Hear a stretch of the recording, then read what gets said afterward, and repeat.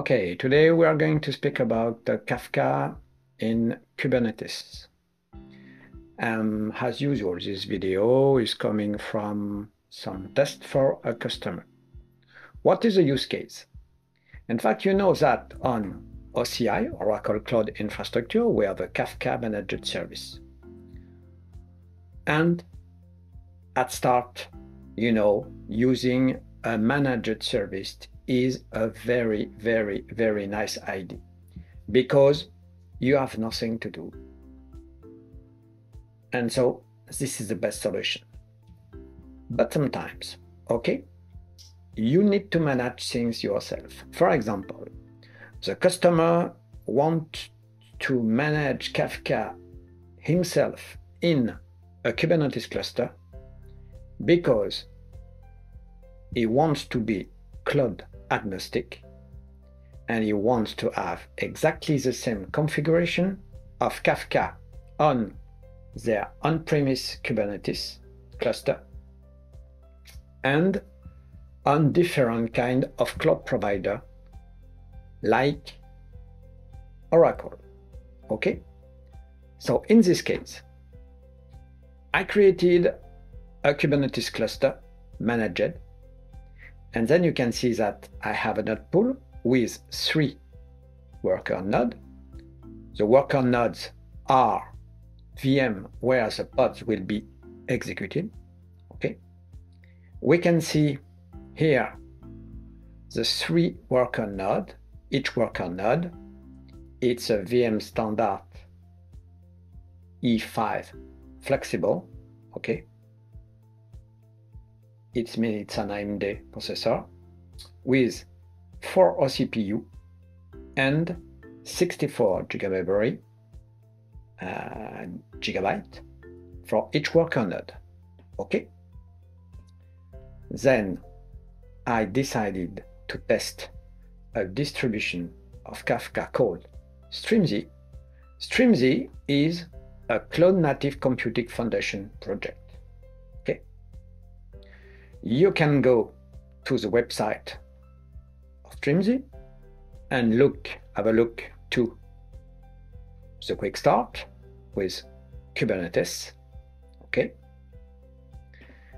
And then you can see on my cluster, I install first the Strimzi operator. Here is running. After that, I choose a YAML file given by Strimzi. Okay. This YAML file allow you to create a Kafka cluster. Here, I created a Kafka cluster with the number of replica is three. It means I will have three broker, three brokers for Kafka. Okay. And I'm using a storage with 100 gigabyte.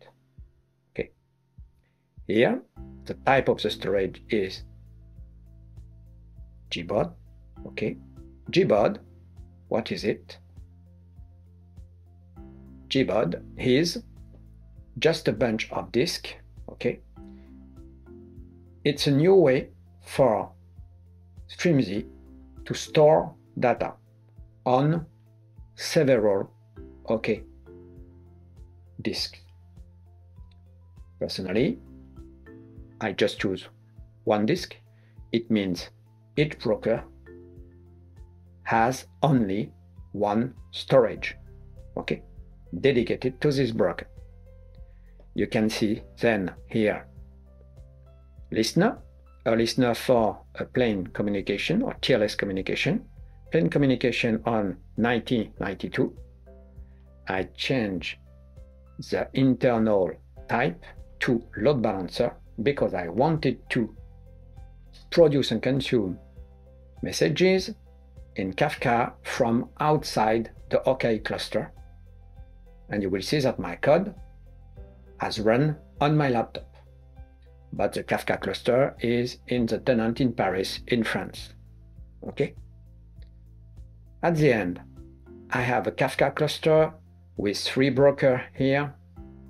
Okay, as we can see during the creation of the Kafka cluster, three PVC were created, three PVC of 100 gigabyte.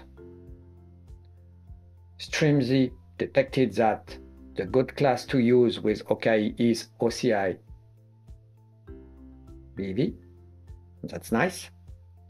And so looking here at the storage, for example, block volume, we can see the three PVC. Each PVC, each storage is used by a broker.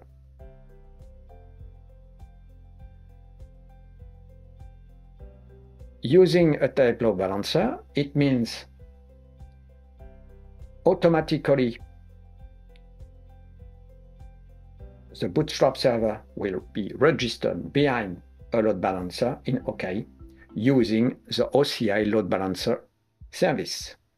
I don't want to show you the service in Kafka because this is a public IP and this public IP, I'm using it uh, for my demo. I don't want to give you this public IP, okay? So just believe me, there is a public IP and at the end, I have a producer, okay? As you see, I produce 1 million messages, just say hello world. It runs very well. I have a consumer and I received 1 million messages. It was very fast in a few seconds. And at the end, I have so a Kafka cluster running on OKE very easily using Strimzi.